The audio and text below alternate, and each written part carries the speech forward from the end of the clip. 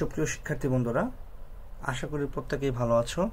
আমি মোহাম্মদ আরিফ হোসেন, সহকারী শিক্ষক মাতৃসা অ্যাপ্লিকেটেড অ্যান্ড হাই স্কুল।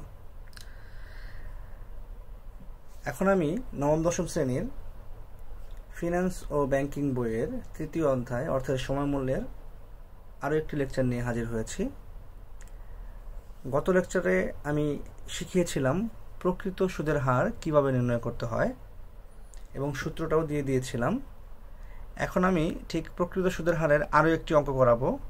আশা করি তোমরা এখন পুরোপুরি ক্লিয়ার হয়ে যাবে প্রকৃত সুদের হার কীভাবে বের করতে হয়। এবং আগেরবার ছিল সপ্তাহে বা সাপ্তাহিক সুদের হার। এখন আমি বার্ষিক সুদের হার দিয়ে একটা করাবো যাতে তোমরা দুটাই ভালোভাবে করতে পারো এবং বুঝতে পারো। তো আমরা এখন চলে যাই সরাসরি প্রশ্নে। আমরা একটু প্রশ্নটা ভালো করে খেয়াল করি। এখানে কি লেখা আছে? মিস্টার রাজন, চার বছর পর দশ লক্ষ টাকা দিয়ে একটি বাড়ি তৈরি করতে চায়।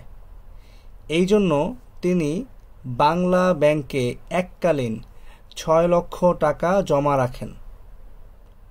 মিস্টার রাজন, চার বছর পর দশ লক্ষ টাকা দিয়ে একটি বাড়ি তৈরি করতে চায়।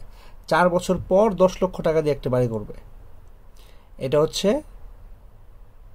এন এর মান। আর এটা কি চার বছর পরের টাকা? মানে দশ লাখ টাকাটা হচ্ছে চার বছর পরে পাওয়া যাবে। তাহলে এটা হচ্ছে আমরা জানি এফবি কিন্তু এফবি এটা পুরাটা না। এখানে প্রশ্ন অন্যভাবে আসবে। দেখি, টাকা দিয়ে একটি বাড়ি তৈরি করতে চায়, এই জন্য তিনি বাংলা ব্যাংকে এককালীন ছয় লক্ষ টাকা জমা রাখেন। ছয় লক্ষ টাকা জমা রাখেন। তার মানে এখন রাখছে, এটা হচ্ছে পিভি এটা অবশ্যই পিভি দেওয়া আছে মানে বর্তমানের মানটা দেওয়া আছে। আচ্ছা জমাকৃত আমানতের বিপরীতে ব্যাংক তাকে আট পার্সেন্ট হারে ত্রৈমাসিক চক্রবৃদ্ধি সুদের প্রস্তাব দেয়। একটু খেয়াল করি এখানে। জমাকৃত আমানতের বিপরীতে ব্যাংক তাকে আট পার্সেন্ট হারে ত্রৈমাসিক চক্রবৃদ্ধি সুদের প্রস্তাব দেয়। এখানে কিন্তু বলা নাই সাপ্তাহিক সুদ। যেহেতু সাপ্তাহিক সুদ নাই, তাহলে এটা বার্ষিক সুদের হারই দেওয়া আছে। আমাদের এখানে গুণ করে সুদের হারটা বের করতে হবে না, একটু খেয়াল রাখি জিনিসটা। আই, আর এখানে বলছে ত্রৈমাসিক, তার মানে কি এম এর মান দেওয়া আছে। ত্রৈমাসিক বললে এম এর মান হয় কত? চার। তো আমরা সেটা লিখলাম। এখন দেখি প্রশ্নে কি বলছে। একটু খেয়াল করি, প্রশ্ন বলছে, বাংলা ব্যাংকের প্রকৃত সুদের হার নির্ণয় করো। প্রকৃত সুদের হার মানে তোমাকে ই, এ, আর। ই এ এর মান বের করতে বলেছে। তো ই এ এর মান বের করতে হলে আমাদের দুইটা জিনিস লাগে, একটা হচ্ছে সুদের হার আর একটা হচ্ছে এম চক্রবৃদ্ধির সংখ্যা। আমাদের আর কোনো কিছুই লাগে না মানে টাকার এখানে কোনো কাজ নেই। উপরে যে টাকাগুলো দেওয়া আছে, সেইগুলোর কোনো কাজ নেই। আমরা শুধুমাত্র সুদের হার এবং চক্রবৃদ্ধির সংখ্যাটা নিয়ে প্রকৃত সুদের হারের পরিমাণটা নির্ণয় করে ফেলব। তো চলো, শিক্ষার্থী বন্ধুরা, আমরা এখন প্রকৃত সুদের হার বের করি।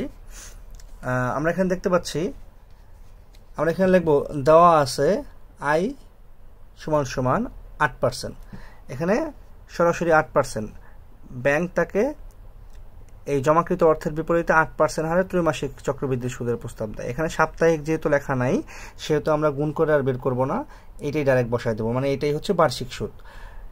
এখন আমরা পার্সেন্টেজটাকে ভাঙাইলাম। আচ্ছা। আরেকটা জিনিস আমাদের দরকার প্রকৃত সুদের হার নির্ণয় করতে হলে, সেটা হচ্ছে এম এর মান। এম এর মান আমরা কত পেয়েছিলাম? চার। ত্রৈমাসিক লেখা আছে। ত্রৈমাসিক বললে আমরা হচ্ছে এম এর মান চার। তো এম এর মান দিলাম চার। এখন আমাদেরকে বের করতে হবে ই এ আর এর পরিমাণ। ই এ আর সমান সমান কত? তো আমরা এখন লিখব, আমরা জানি ই এ আর সমান সমান one plus I by M to the power M এখন মানগুলো বসায় দিই। আমাদের আয়ের মান হচ্ছে শূন্য দশমিক শূন্য আট এম এর মান হচ্ছে চার, আর এম এর মান হচ্ছে চার। উপরেও চার বসায় দিলাম। এখন আমরা এইটুকু ক্যালকুলেশন করব। উপরে যে ব্র্যাকেটের ভিতরে যে ভাগটা আছে সেটার ক্যালকুলেশন করে আমরা পাইলাম হচ্ছে শূন্য দশমিক দুই শূন্য সরি শূন্য দশমিক শূন্য দুই। আচ্ছা তারপর উপরে যা ছিল সেটাই থাকবে উপরে চার মাইনাস ওয়ান এখন আমরা এইটুকু এটুকু ক্যালকুলেশন করে এটা পাইলাম। Minus one. এটা থেকে মাইনাস ওয়ান করলে আমাদের থাকে শূন্য দশমিক শূন্য আট দুই। এখন আমাদেরকে যেহেতু প্রকৃত সুদের হার পার্সেন্টেজ চেয়েছে পার্সেন্টেজ করতে হলে আমাদেরকে কী করতে হবে? একশো দিয়ে গুণ করতে হবে। এটাকে একশো দিয়ে গুণ করার পর আমরা পাইলাম হচ্ছে আট দশমিক বিশ পার্সেন্ট সুতরাং বাংলা ব্যাংকের প্রকৃত সুদের হার আট দশমিক বিশ পার্সেন্ট আশা করি প্রকৃত সুদের হারের পরিমাণটা এখন ক্লিয়ারলি বুঝতে পেরেছ। যদি তারপরও না বোঝো, তাহলে কমেন্ট বক্সে জানিও, আমি আরও অঙ্ক করে তোমাদেরকে ভালোভাবে বুঝিয়ে দেব। তো এখন আমরা দেখি খ নম্বর প্রশ্নে আমাদেরকে কি বলেছিল। খ নম্বরটাও সলভ করি। উক্ত মেয়াদ শেষে মিস্টার রাজনের বাড়িটি বানাতে আর কত টাকার প্রয়োজন হবে? একটু খেয়াল করি। আমরা দেখতে পাচ্ছিলাম যে মিস্টার রাজন চার বছর পর দশ লাখ টাকা দিয়ে একটি বাড়ি তৈরি করতে চায়। চার বছর পর সে দশ লাখ টাকা দিয়ে একটা বাড়ি করবে। তার মানে আমাদের টার্গেট থাকবে দশ লাখ টাকা পূরণ করার। ঠিক সেভাবে প্রশ্নটা করা হয়েছে যে তার আর কত টাকার প্রয়োজন হবে? আমরা দেখতে পাচ্ছি যে সে ব্যাংকে জমা রাখছে কত? ছয় লক্ষ টাকা। তাহলে এই ছয় লক্ষ টাকার ভবিষ্যৎ মূল্য বের করলেই আমরা বুঝতে পারব যে আমাদের আর কত টাকার প্রয়োজন হতে পারে। কারণ আমরা এই ছয় লক্ষ টাকা জমা রাখার পর যে টাকাটা পাবো তারপরে যদি বুঝতে পারব যে আমাদের কত টাকা বাকি আছে দশ লক্ষ টাকা হতে। তো আমরা এখন দেখি যে উক্ত মেয়াদ শেষে মিস্টার রাজনের বাড়িটি বানাতে আর কত টাকার প্রয়োজন হবে। তার মানে প্রয়োজন হবে, আর কত টাকার প্রয়োজন হবে। তার মানে তোমাকে অবশ্যই ভবিষ্যৎ মূল্যটা বের করতে বলা হয়েছে এখানে, বা ভবিষ্যৎ মূল্য বের করলে আমরা বুঝতে পারব যে আর কত টাকার প্রয়োজন হবে।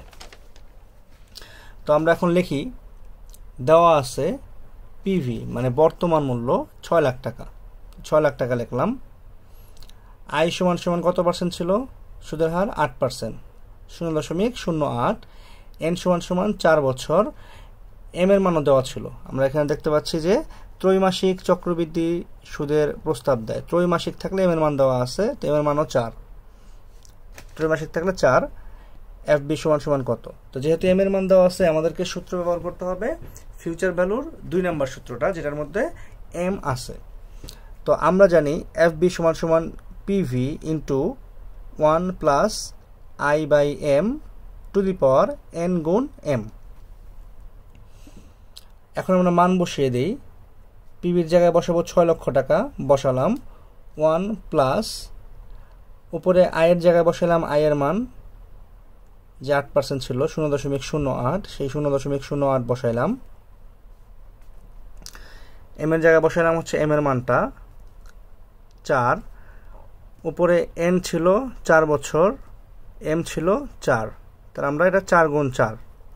এখন আমরা ব্র্যাকেটের ভিতরে এই যে ভাগের কাজটা আগে করব। ছ লাখ টাকা থাকল, ওয়ান প্লাস বাকিটা এখানে লিখলাম শূন্য দশমিক শূন্য দুই আসলো।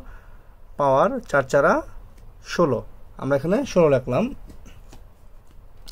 এখন একটু খেয়াল করি। এখন এইটুকু পুরোটা আমরা করলাম ক্যালকুলেটরে। তো ক্যালকুলেশন করে আমরা পাইলাম হচ্ছে এক দশমিক তিন সাত তিন। আরও সংখ্যা ছিল, আমরা ওটা তিন সংখ্যা নিয়েছি। এখন এটাকে গুণ করে দিলাম। গুণ করে দেওয়ার পর আমরা পাইলাম হচ্ছে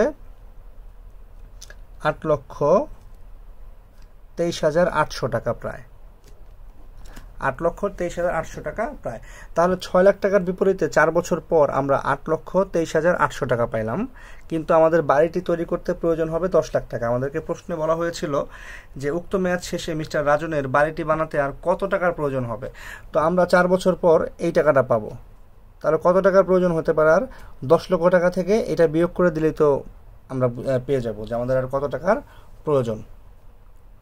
তো আমরা এখানে লিখি, সুতরাং মিস্টার রাজন মেয়াদ শেষে বাংলা ব্যাংক থেকে আট লক্ষ তেইশ হাজার আটশো টাকা পাবে। তার বাড়িটি তৈরি করতে প্রয়োজন। তাহলে তার বাড়িটি তৈরি করতে কত টাকার প্রয়োজন হবে হবে? চার বছর পর। আমরা দশ লক্ষ টাকা থেকে এটা মাইনাস করে দিলাম। থাকল এক লক্ষ ছিয়াত্তর হাজার দুশো টাকা। সুতরাং উত্তর হচ্ছে এটা। আশা করি তোমরা প্রকৃত সুদের হারের সাথে আজকে একটা ভবিষ্যৎ মূল্যের অঙ্ক করে ফেললাম। যে কীভাবে বের করতে হয়। আশা করি তোমরা অঙ্কটা খুব ভালোভাবে বুঝতে পেরেছ। আর যদি তবুও বুঝতে না পারো, তাহলে অবশ্যই আমাকে কমেন্ট করে জানাবে। আমি এটা নিয়ে আরও লেকচার তৈরি করব। আর অর্থের সময়গুলো নিয়ে হয়তো বা আর কোনো লেকচার আমি আপাতত আপাতত দিচ্ছি না। যদি প্রয়োজন হয় তোমরা আমাকে জানাবে, আমি আরও লেকচার তৈরি করব। আজকে আমি এই বলে আমার এখানে এই- এই লেকচারটি শেষ করতেছি। সবাই ভালো থাকবে। আল্লাহ হাফেজ।